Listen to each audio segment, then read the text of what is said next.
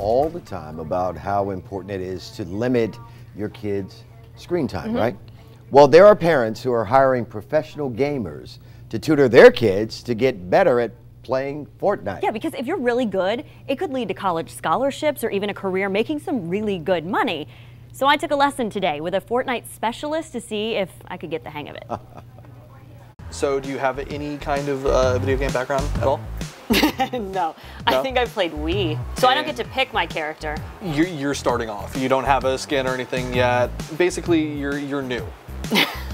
okay. All right, I just got to get good at this and I can pick my character. Oh, All right. 100%. So wait, I need to go find a gun, but what if somebody finds me first? Well, then you're in a you're a heap of trouble. Alex! We're on team, so I can't hurt you. But what would you do in that situation? Not what I did, I just stood there. So these are things that you would teach somebody if they're wanting to like, Get Learn real how to good at the the game. game, yeah. of course. he's just teaching me how to run forward.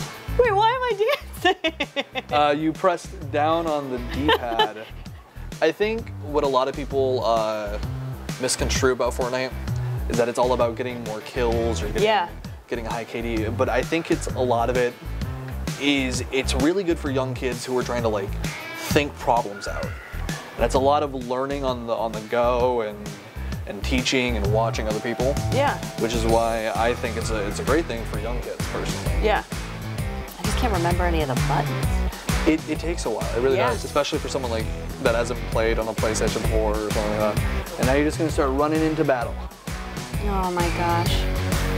Oh, Oh, you're gosh. getting shot at from behind, and Oh my god! I was just eliminated. it's it's definitely a sh- uh, sharp learning curve. Yeah, Yeah. It can it can get a little rough sometimes, but if you keep getting at it, if you keep learning it and learning the controls and learning how you do it, that's how you get better. Well, thank you for teaching me this or trying Of to course. teach me. Are you disappointed in my performance? No, you should practice.